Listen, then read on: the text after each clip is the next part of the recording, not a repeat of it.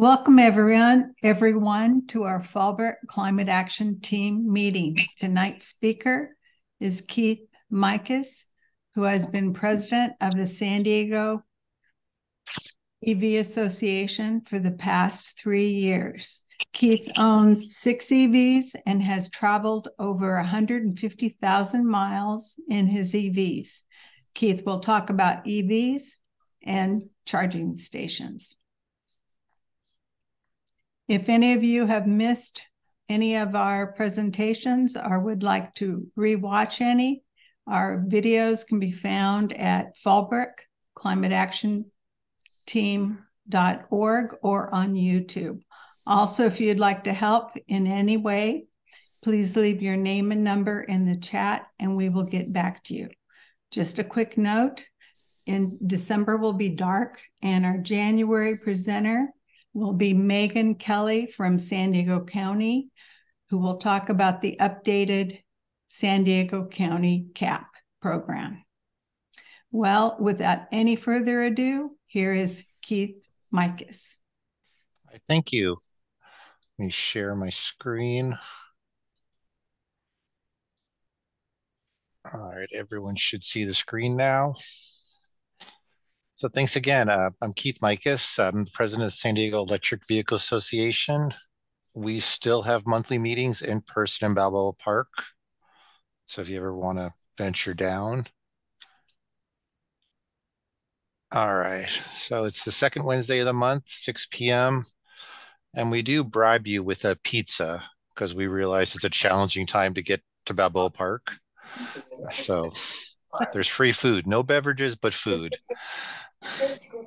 released as part of this deal. All right, so 12 people held by Hamas crossed the border into Egypt earlier. What's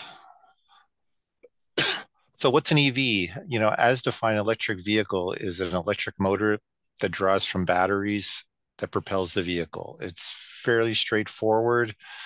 You know, we get confused between internal combustion engine, ICE engines, hybrids.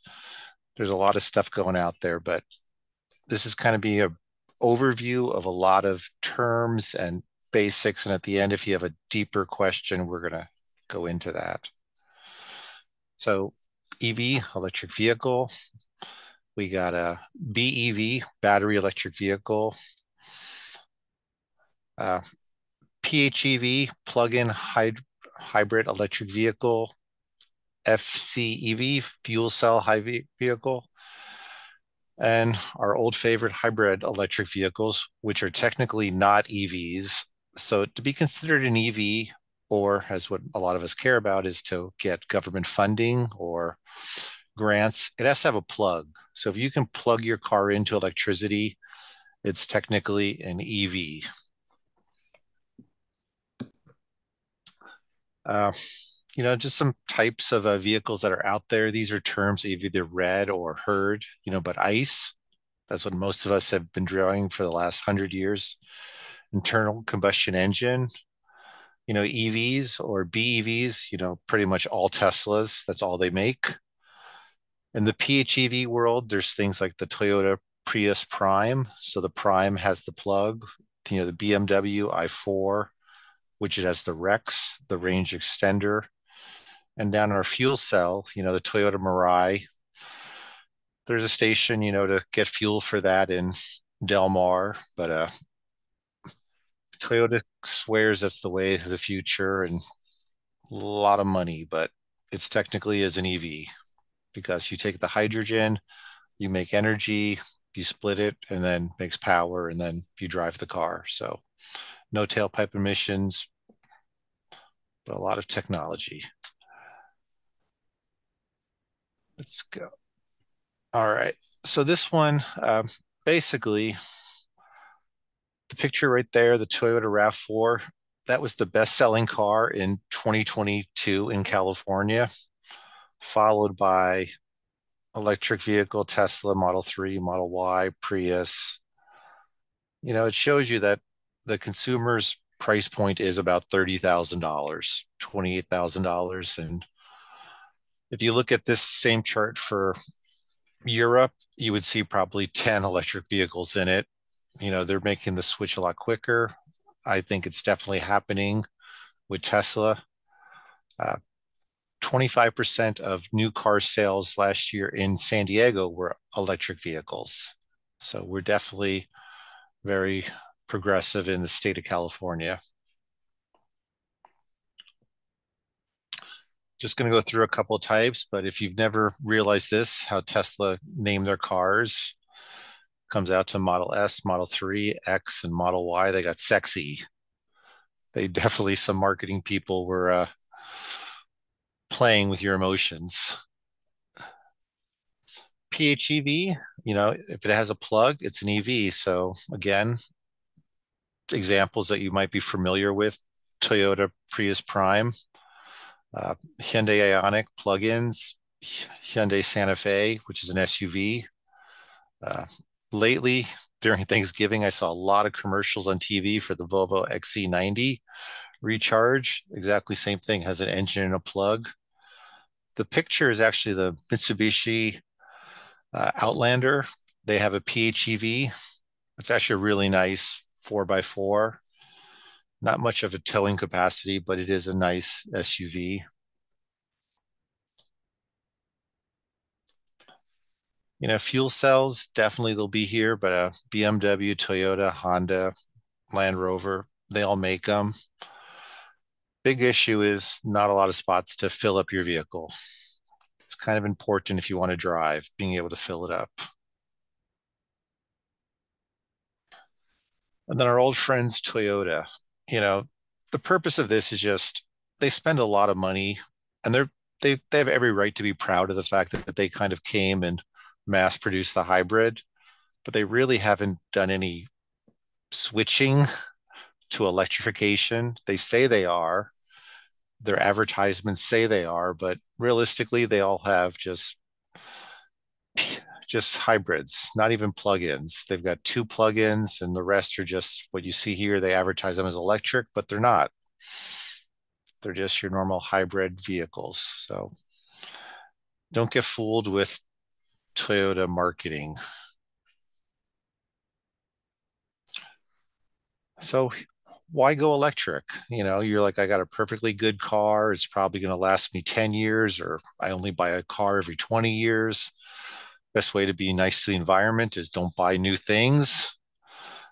There's a lot to be said for that. Keep your vehicles longer. You know, the production is where you spend a lot of fossil fuels and climate warming gases, but EVs can help you on saving money, your day to day costs. Definitely have way less maintenance, less emissions, and even less toxic for the environment with less components a car is still a car. It still has to be manufactured, minerals still extracted from the ground, still transported to dealerships. So the actual envelope of a car is a car, but there's features of EVs that can save you and help the environment.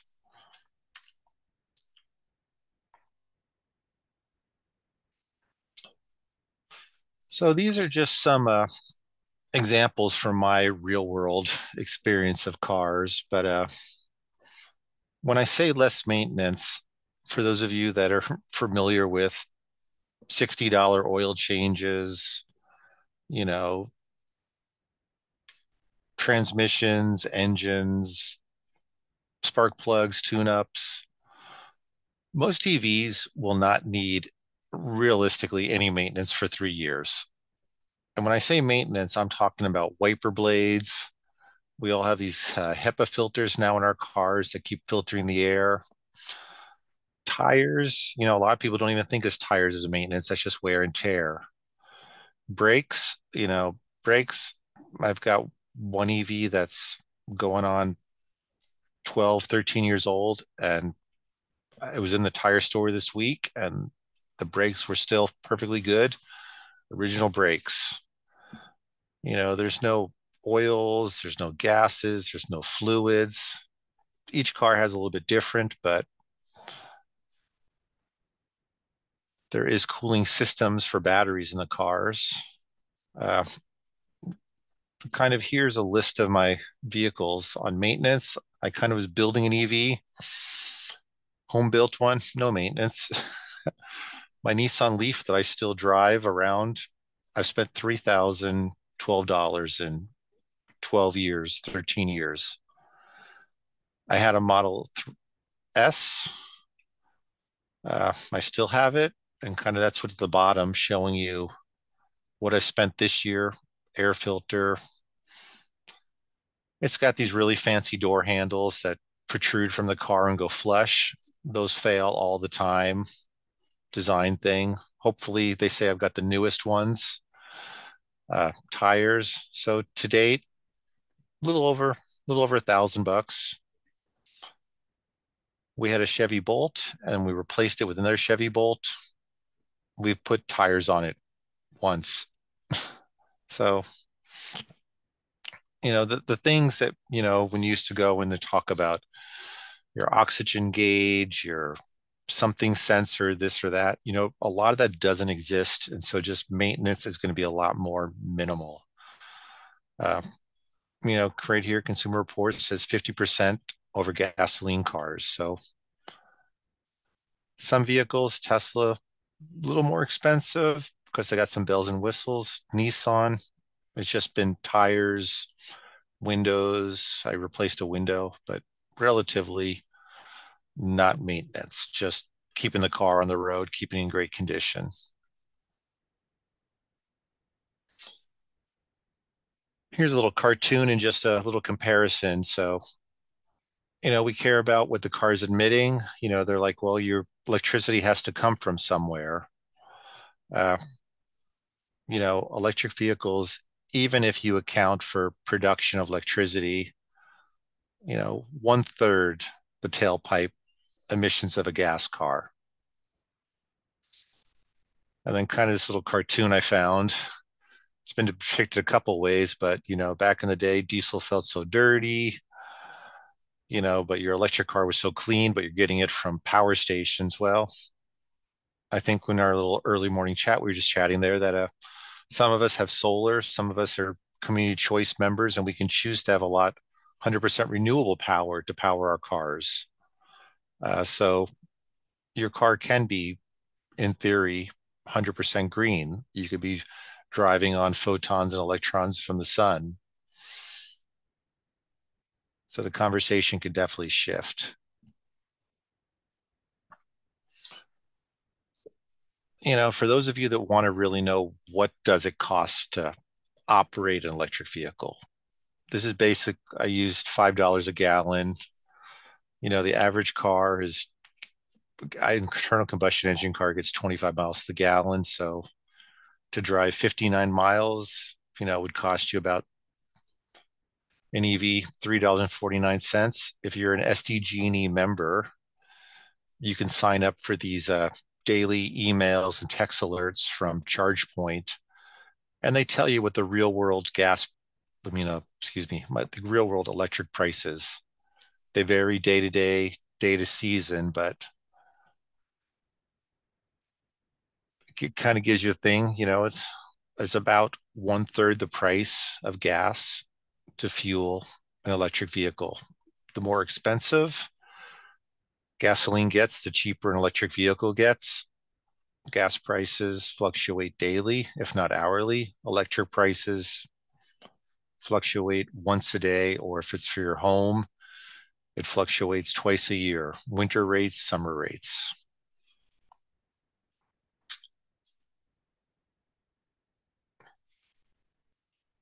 Uh, for those of you that are familiar with uh, Robert Llewellyn, he's an actor. He's got a podcast, and I, I thought this is just a great thing. You know, the genuine hurdle to mass adoption of electric vehicles is not charging. You know, electric car technology works all the problems are psychological, not technological. But having ubiquitous, easy to use price networks is in many places that is the problem. And I'll agree, you know, you have a home, you're fortunate to have a home, a garage, you put in a charger, you got no problem having an electric vehicle. If you live in an apartment, a condo, you know, multiple people live there with multiple cars, public charging is definitely an issue. I pulled uh, the next thing off of a one is a EV Match, and the other was a PlugShare. For those of you that live in the Fallbrook area, you know, according to PlugShare, where they say they take all the maps and they put it all in one app on your phone and you can find all the charging stations. Well, it only found four of the six charging stations in Fallbrook. So, you know, you'd have public utilities, public library, a, a hotel, the airfield, and then you had two private residents that have chargers at their houses, you know, that let you charge there. You definitely pay. It's not free, but you know, if you want to check it out, you know, there's definitely public charging and ways to find public charging. Um, when we talk about charging, there's three types of charging, and it's actually broken into two sections, but it's still three types. You have level one, which is a 110 outlet. Wherever you can charge your cell phone, you in theory can charge your electric vehicle. Level two is 240, which is a lot more like an electric oven or an electric dryer, you know, usually 16 to 50 amps. You get about 25 miles for every hour it's plugged in. DC fast charging, Tesla supercharging. Those are words you all hear. But to then break it down further, there's different connectors or plugs.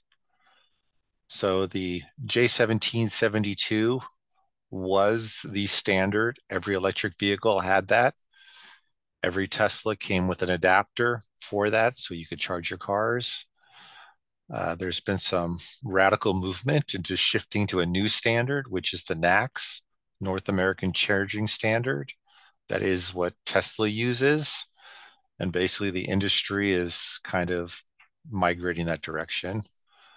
Then most other cars have CCS combo, combined charging system.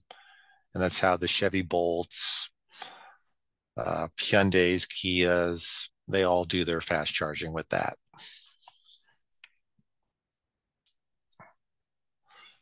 So, how to charge your car? You know, like I said, wherever there's an outlet, you know, you can plug in your car, low cost, doesn't cost you anything. Most EVs come with a backpack charger. You know, you just plug it in, you can charge your car. You're going to get three to four miles for every hour that the car is plugged in. So if you're driving 30 miles a day, but your car sits on the sits in your driveway for 12 to 15 hours, you could probably charge it off a 110 outlet. You know, it's just they're ubiquitous. It's what we all have. Like I said, wherever you can charge your phone, you can charge your car. Next one starts getting complicated, but still simple. Home charging. If you're fortunate enough to have a home or garage or a spot where you can install a charger, you know, most of them are about 240, 40 amp. For every hour that the vehicle's plugged in, you get 25 miles of range. So basically, you drive your car, you leave it plugged in for four hours, you get 100 miles. For those, you know, engineers in the room, you know, more amperage. So if you have a 50 amp, 60 amp, 80 amp, you can definitely charge your car faster with more amps. And then chargers are also, I have one of these Clipper Creeks. Uh, very low technology. They were they used to build chargers for forklifts, electric forklifts. You just plug it into your your car. It does the purpose. Not very smart. It does the job. Next couple are all Tesla chargers. You know, more bells and whistles, and you can control them with apps and things. You can do multiple daisy chain charging, but from there, you know, the sky's the limit. You want to talk to your charger. You can have Alexis chargers. You can chargers run 199 to probably upwards of seven, eight hundred dollars, just how much technology you want or what you want it to do. Uh, you're probably familiar with these Tesla little tombstones, pyramids, you know, whatever you want to call them. And then the Electrify America green zombies. Uh, Electrify America is the charging network that was built out of the Volkswagen Dieselgate scandal. So we can thank them for building a network. But at the same time, I don't think they're committed to supporting the network. These you uh, you pull in, you plug your car in, and roughly 40 minutes later, your car's full. So supercharging, you're never going from empty to 100% full. You're usually going somewhere from 10 to 20% to about 80% full. So it's usually just enough power to make it the next two, 300 miles to your next charging session. Uh, prices can vary. Get the next page. Yeah, so here's a, a charging session that I did at Electrify America. We were there just about an hour, you know, 43 cents a kilowatt. The entire charging cost cost me $15. And it said I put in a 35 kilowatts of power. So, you know, to kind of give you an idea of you're doing a 200 mile road trip. This was done with my wife's Chevy Bolt, which is a 258 miles. So you figure $15 to drive 200 miles. It's a pretty, pretty good rate. But like we're all familiar with electricity now, depending upon the time of day, you can be paying substantially more for power or less for power.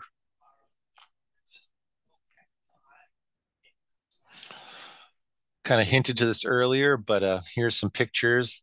The Tesla charger versus the uh, CCS combo.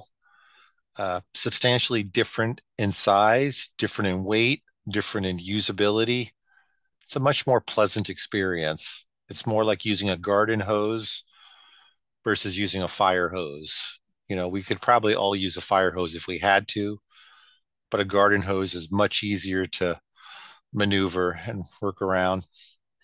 Uh, starting probably in February, the dominoes started to fall, and Ford came out said they're going to go to the NACS system. Excuse me. Uh, General Motors, GM, Mercedes, Volvo, Polestar, they all started, you know, Rivian, Aptera, Fisker, etc.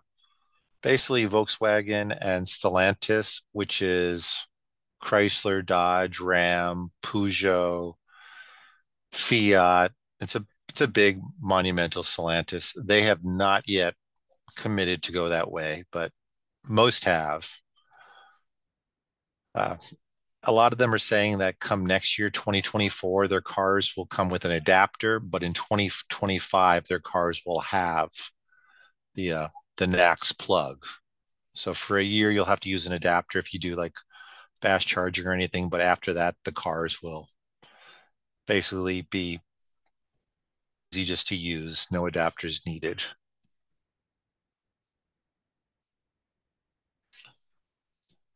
So did a little screenshot on my cell phone and you know what are charging apps? I tell people they're like gasoline credit cards from the 70s for those of us that remembered you'd have a shell credit card you'd have a Mobil credit card you have a texaco a sunoco you know if you were driving across the country you didn't use your visa mastercard you you just had a million gasoline credit cards and that's kind of what the world of uh, charging is right now there's a lot of apps. They do a lot of things. Uh, some are better than others. My wisdom, while you know, to you guys, if you're ever planning on taking a road trip, before you go on your road trip, make sure you download a whole bunch of these apps. Next thing, try out some public charging in your hometown. You know, get familiar pulling up to a charging station in a place that you're comfortable at you know, possibly daytime, good lighting, and get the and figure out how to get the app to work. Because the worst thing you want to be is your car has 10% charge, it's dark, you're tired, and the thing's not working. It can be a frustration factor. So better do a little research and usage before you go. Also, know you know which networks you like best. I tend to like EVgo. It's personal preference. Uh, I've been using them for a while but we went to Tucson and the hotel we stayed at had the juice box network and so it was free so i just had to learn how to download the app and do it. And while doing this research one of the uh, the charging stations in fallbrook uses switch which i had never heard of so that's why i kind of put it there in the bottom. Swtich uh, you know there's there's always an app that's going to pop up you know and it's just rather like i said when i do a road trip especially in a non-tesla vehicle you know use the apps log in get familiar with them just have a better experience. A very important thing. A lot of us are like they say there's a lot of money out there and there is a lot of money out there. Uh, you know the ira the investment uh, inflation reduction act you know that was basically refunding all automotive so $7500 off a purchase of a car or off a lease you can now get $4000 off of a used car up to uh, those are off of tax your tax liability a little different uh, cr cvrp clean vehicle rebate program you know, it is what you get the money from California. It's currently ran out of money. There's a waiting list, but probably this year you won't get the money. Uh, it'll it'll most likely be refund be funded next year. Uh, things maybe you're unaware of, but if you're a first responder or a teacher, SDG&E gets you a thousand bucks. There's many grants out there. Uh, I put one here. Uh, if you're lower income, and I think when they say lower income, it's four times or 400% of poverty. So uh, the Clean Vehicle Assistance Program through the Beneficial State Foundation, you know, they had $5,000. Uh, that money is currently, again, already used this year. CARB, uh, California Air Resources Board. If you happen to live in more polluted areas, let's say Barrio Logan or the Central Valley, they have money uh, the Bureau of, of, Automotive Repair, they have money, thousand to fifteen hundred bucks. You have an older vehicle that they consider a polluter. Remember, uh, Cash for Clunkers. They've got some money there that's available. South Coast Air Quality Board, same thing. They're saying they're willing to give you nine thousand to twelve thousand dollars for your older polluting cars some of the other benefits. You know, you get the the decals. So if you take the express lanes, you can save money there. Uh, Costco. Uh, if you're a Costco member, their cost sign up for their uh, Costco Auto Savings Program. Right now, they're giving three thousand dollars off of some EVs. I partook in that when we bought our last car. Definitely, you just have to sign up for the program and jump through a couple little hoops and you can get that money. Uh, for those of you that are still working, a lot of employers encourage you with monies for cars. Uh, credit unions, Clean Energy Credit Union, who uh, works with the Electric Vehicle Association of, of America, they offer low interest rate loans for EVs. And then manufacturers, you know, they they love this, but uh, different money all the time, different incentives. So cash back. Some offer two years of free public charging, uh, free EVSE. That's the electric vehicle supplied charger or the uh, EV backpack. It's a charger that comes with the car. And some companies are even throwing in home chargers, installation and the charger. So not directly that it's money in your hand, but possibly money you'd have to spend right here. This is like I said, I just got this one from a uh, Costco. So they're offering surprisingly off thousand bucks off of a uh, certified pre-owned Polestars. But you know, they offer on new Volvos, on Buicks, GM. So right now, Costco member, get a thousand bucks.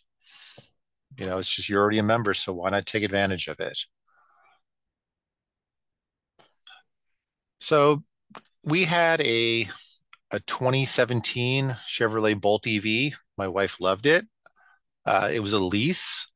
So during COVID, it uh, came up for lease. They wanted us to pay 2,400 bucks to 24,000 bucks, sorry, to save it, keep it. And my wife said, nope. When we knew we could buy one for about 20,000. So here was the math that we used. we acquired a $40,000 EV for 20,000. You know, at the time, Costco was offering $3,000.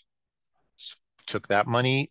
Chevrolet said if you finance the car through Chevrolet, they'd give us $1,500 we uh, weren't working as much, so our income was a lot less. So we qualified for the beneficial foundation grant, five thousand. My wife is a school teacher, so she got the SDG&E thousand, and we happened to be. They were just about ready to discontinue at that time the federal money, so we qualified for that, and then we got the state of California. So in the end, we almost got the car for half price and that was relatively with there was no haggling with the dealer. It was Christmas Eve. There was one car, and that's what we got. Made my wife happy. So same thing, like the previous slides where I showed you all that money. You know, you you might not be able to qualify for everything, but there's definitely different avenues and different places to get money to put down. And in my case, most of these were grants or off on my taxes. So the grants, I basically found out which car dealership was pre approved for that grant. And I made sure that two of these, the Costco, the SDG&E, and the beneficial dealer, which dealership took those three programs. So it was just me signing a piece of paper saying they're going to apply for my grant money for me. And if I doesn't come through, I have to come up with more money. But it did come through. So versus the federal was off taxes and the state money was, you know, a couple months later once they process all the paperwork. So 2024, which is coming up really soon, there will be dealerships that now the 7500 and the $15 will be at time of purchase for EVs. Uh, just the federal government has to roll out a program to a lot of dealerships and a lot of times. So it is coming easier and it's more off the EV. It's less of a tax liability situation. So we're kind of getting towards the end of the program, but I kind of touched on this before. But uh, if you're planning a trip, this is what I I do. It's called a, a Better Route Planner. It's an app actually uh, Rivian that builds those trucks and SUVs and the Amazon electric vehicles. They just bought this company. So it is a really great navigation system. You can geek out into it as much as you want, but uh, they put in terrain, they put in a lot of information in it. So uh, most OEMs have navigation systems in the cars. Tesla you plug in your destination and it plots you from charging station to charging station to charging station. Uh, Apple and Android Auto, they keep adding more and more features to them. Uh, they can be clunky. You do have to use your cell phone. Uh, you know, if you're if you're running a trip to Los Angeles, let's say, or Santa Barbara, you know, plan your network. You know, it's you can be like, oh, I got to charge my car. Well, be strategic. Find a place that you want to eat a meal at. While you're eating, you can have your car plugged into a fast charger. Uh, you know, while you eat your meal, your car gets charged. And the last one is for those longer road trips.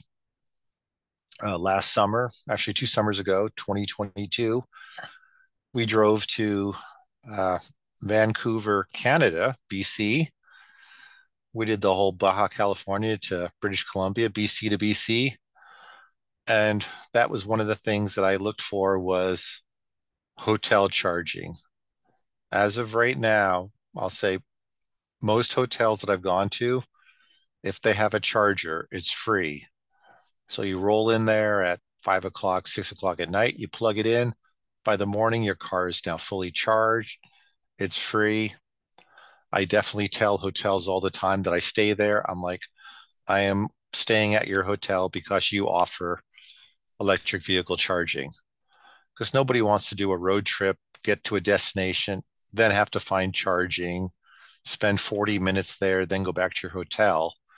You know, this is just far more convenient, you know, charging at your hotel. So, uh, a lot of hotel websites. Uh, an example, I, when I went to St. George, Utah, we stayed at Best Western. If you rolled all the way down to the bottom of amenities, towards the bottom of their amenities on a lot of their sites, they said EV charging. So, you know, just just look for it. And then of course, before I went, I called the hotel. I'm like, I'm coming. Are your chargers working? Sometimes they don't know, but in my case, they said, I see cars parked there. And They got the cable stuck in. I'm like, that sounded good enough for me.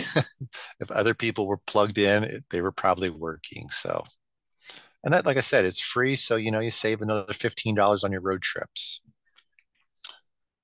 So with that, like I said, there's a little higher overview. You know, we can possibly dive into the weeds a little bit early, a little bit in a moment, but uh, our local chapter is san diegoev.org. Uh, our national champ chapter is uh, myeva.org. Like I said, second Wednesday of the month, free pizza, Balboa Park, San Diego Automotive Museum.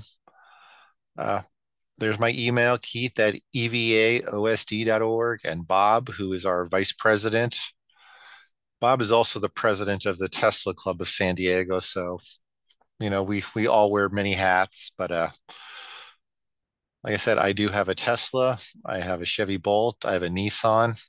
You know, uh, I mentioned I have a reservation for an Aptera. I would like that. Uh, I got a reservation for a Cybertruck. I don't need that, but I don't know. I got teenagers going away, so maybe they're going to take one of my cars and I'll need another car. But with that, I'd like to thank you. I see a question. We'll start with this bottom question first. Why does Costco provide money? So Costco provides money in a lot of different ways. And I think Costco, up until about 2012, Costco had electric vehicle charging stations at all of their Costco locations. That was kind of a thing. Costco was like, they saw electric vehicles coming, they put them in, they were offering free charging. And I think they were doing it to offset this is my interpretation offsetting carbon credits, offsetting clean air, offering free charging. They've got gas stations, but I think at the time, gas stations weren't that big as their gas stations were producing more money for them. I feel they discontinued the electric vehicle chargers and a holdover is they still offer cash back for being a member. You know, that's what your membership pays for. So I have a Nissan Leaf. It's a 2011. Uh, when I bought it, they said it was 100 miles. It was never 100 miles. Uh, it was 72 miles.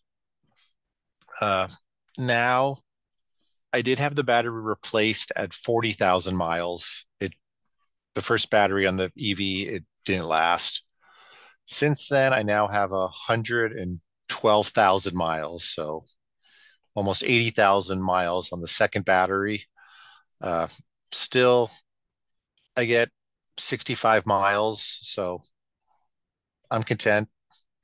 I can run from Rancho Bernardo to Carlsbad and back home and not have any issues. So, going up to Tom's question Will Tesla charging stations be open to non Tesla vehicles? Yes. As of right now, if you have a non-Tesla vehicle, they have specific charging stations, not all charging stations. They basically made an adapter. They're calling it the Magic Dock. And uh, you have to be in the Tesla app. You have to already be pre approved, and they want to know what vehicle you have.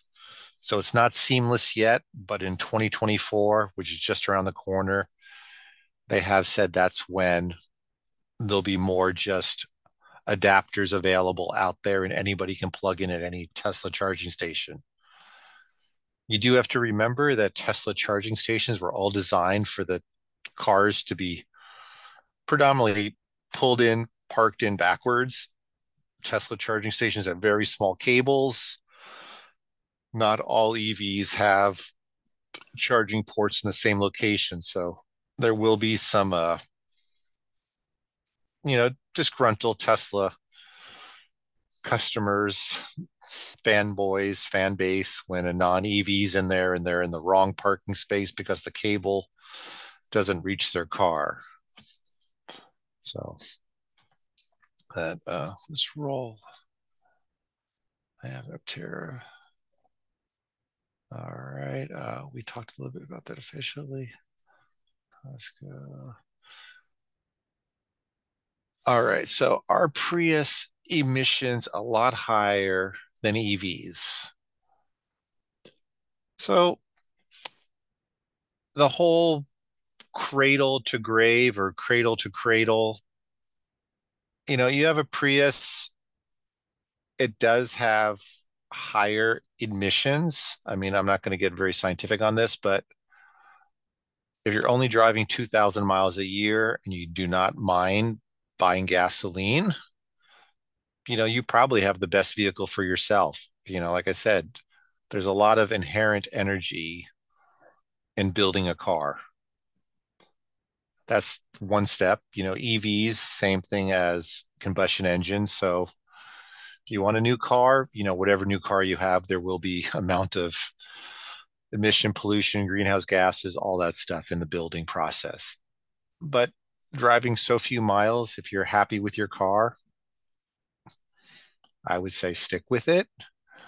You know, it's it's it's a great thing. I mean, that's one of the reasons why my Nissan Leaf. I figure I'll keep that car until it gets down, battery gets down to 40 miles.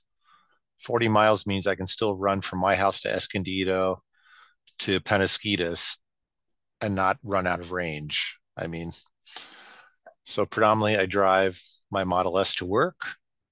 And then when I run errands at home, I use the Nissan Leaf. Uh, give an example, my Tesla, it's a 2013, so it doesn't have autopilot, doesn't have all the fancy stuff, but when it was new, it was 253 miles of range. Right now, I have about 220 miles of range. So I lost about 30 miles of range in 10 years. So you could say I'm losing three miles a year of range.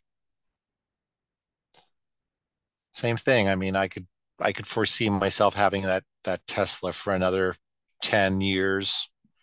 Even that if I lose 20 miles of range, still 190 miles, that's sufficient for me. Uh, all right, bought a Tesla adapter. Have not had a chance to try it. I would suggest, Mark, you go to a charging station and try. There's a there's a lot of companies out there that sell adapters. Uh, I I just know that there's a lot of uh, internal circuitry and sometimes, you know, if, if it's from the OEM, you know, you got your Nissan or you got your Hyundai adapter, I'd be more in faith that it works. Uh, if I bought a Tesla adapter off of Amazon,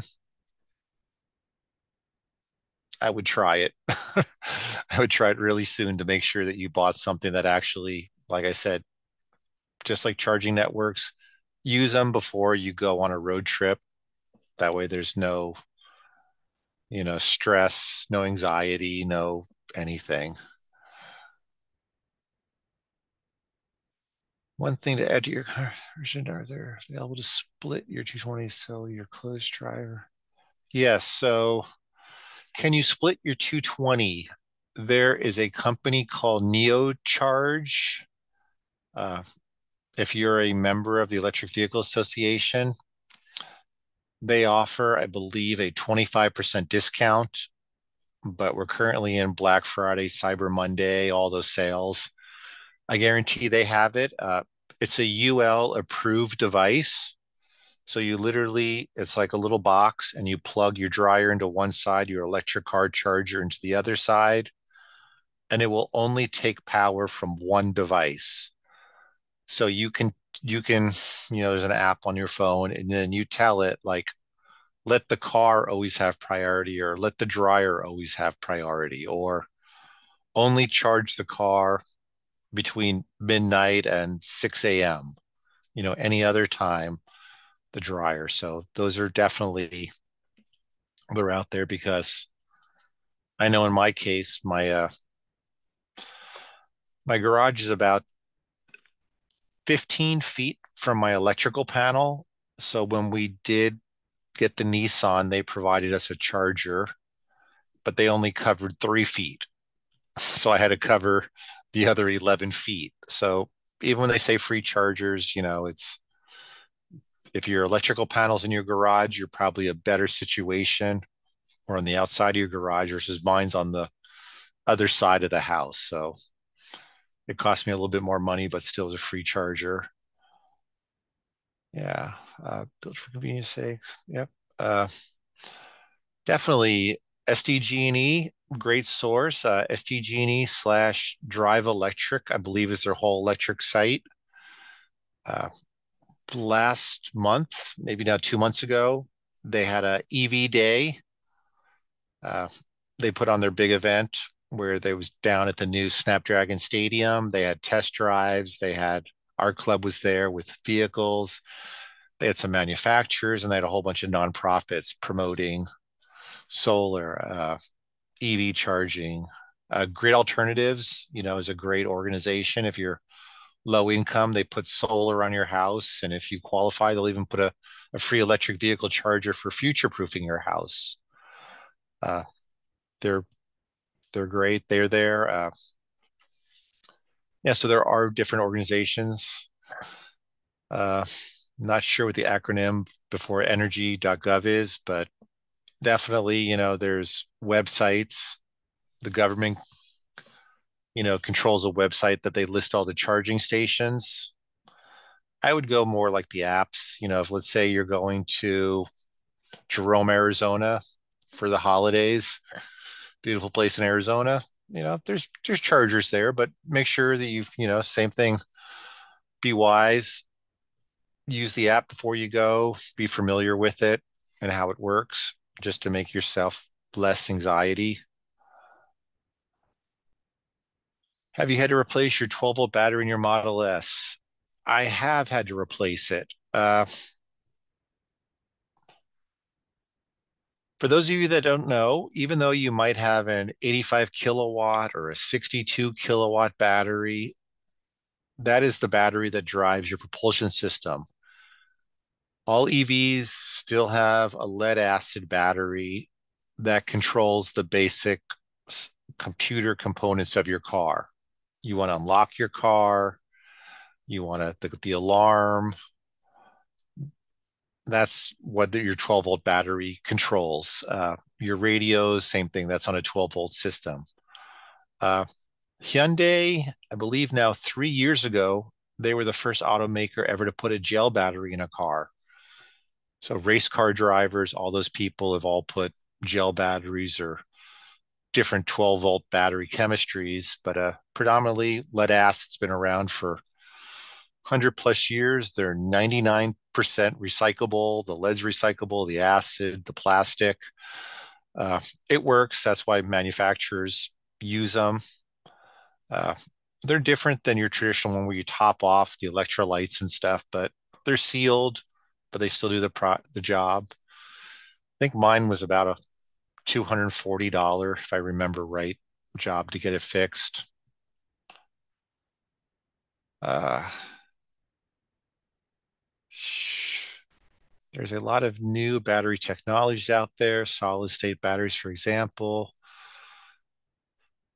Oh, solid solid state is, you know, the the golden, you know, that everyone is is looking for. If you know anyone who has a pacemaker, they have a solid state battery about the size of a quarter. You know, they it's inside them. It it lasts forever. Uh, just like lithium, just scaling that up to the size of a car is where it's currently not working. Uh, Fisker, uh, they've got the Ocean, and they just released another one. Uh, they basically said the first thousand of their vehicles are going to be lithium, and then after that, they're going to be solid state. They've had to walk that back and say, well, solid state's not there yet. Toyota constantly keeps saying they're making solid state breakthroughs. If they do, that will be amazing. Uh, lithium is probably half the weight of lead. So when I was doing a lead, you know, a conversion from an internal combustion engine car, I had an old Saab. I was doing that, you know, just hundreds of pounds of lead acid batteries versus just a couple hundred pounds of lithium batteries. And solid state would do that again. Uh, those of us that are they're engineers or no engineers know you can't just put a battery twice as big in a vehicle to go twice as far. A bigger battery adds more weight. More weight means the motors have to work harder. You actually don't get it's a proportional thing. So if you can lessen the weight of the vehicle, why a lot of EVs, most Teslas are majority aluminum, uh, a lot of carbon fiber, same thing to lighten the weight. Uh, they're not using steel. And if solid state batteries, uh, I heard about cement capacitors. You know, capacitors can store energy and discharge them. You know, we all know cement's been around for 2,000 years. You know, that's an interesting thing. You know, it's relatively non toxic at the end of its life. Making cement uses a heck of a lot of energy and does pull lot of global gases and pollution.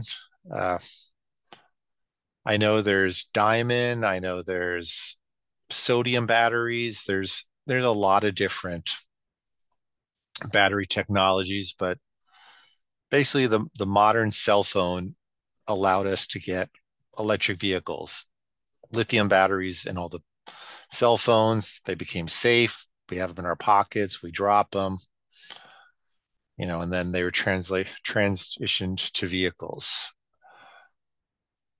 Are there any other solar charging vehicles besides Aptera? There was a Dutch company that was making one that had solar panels on kind of all the sides.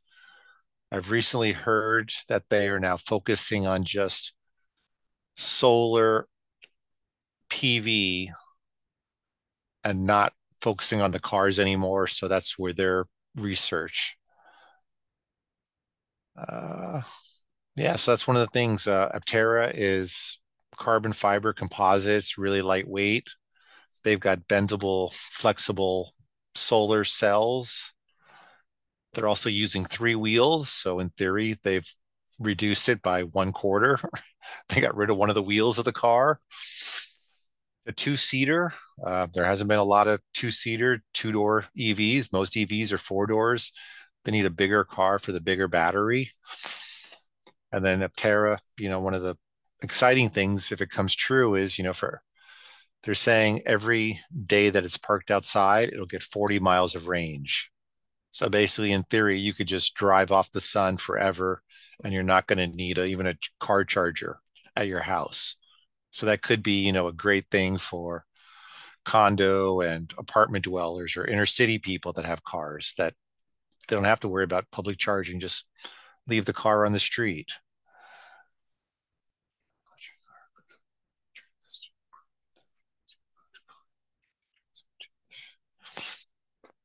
So, just a little background on our car club. Uh, the electrical the Electric Vehicle Association of San Diego was established in 1967. We've been around uh, for the first 40 years. It was to convert gasoline cars to electric, and that's when I found them. Like I said, I had I had an old Saab. Transmission wasn't good on it. I'm like, I'm like, just moved. I just moved from New York City to California. I had a driveway. I had a garage. I'm like, this can't be that tough. so that's when I found the club, and that's what they were totally uh, did. Our secretary of our club, Dave Crow, he converted a Volkswagen Golf, and uh, he recently sold it. So he had it for about ten years. He sold it to some college kid that wanted to soup it up.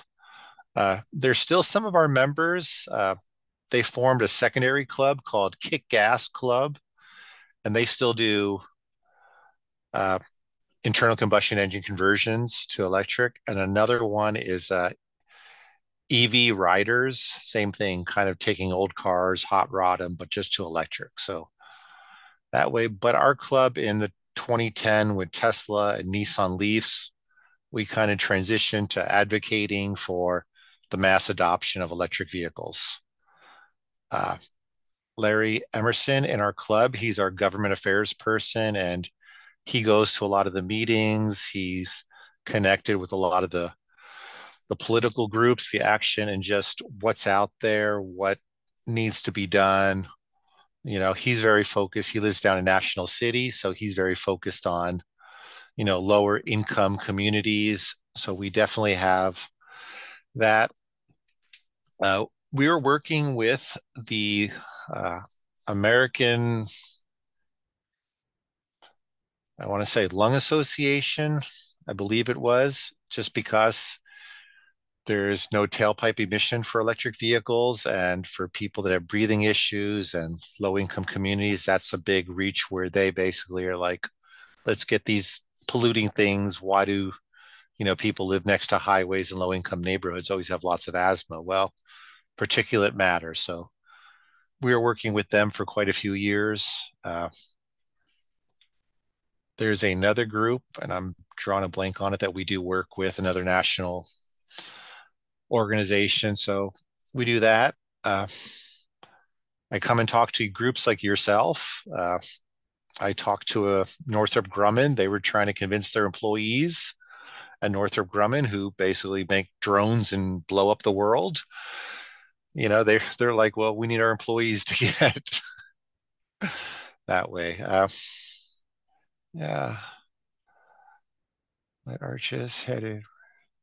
There's climate ending life it's like i said you know i'm kind of a proponent you know i i could buy a new car every year if i wanted to but i know that's not the right thing to do the car you have is the best car to have unless something seriously goes wrong with it.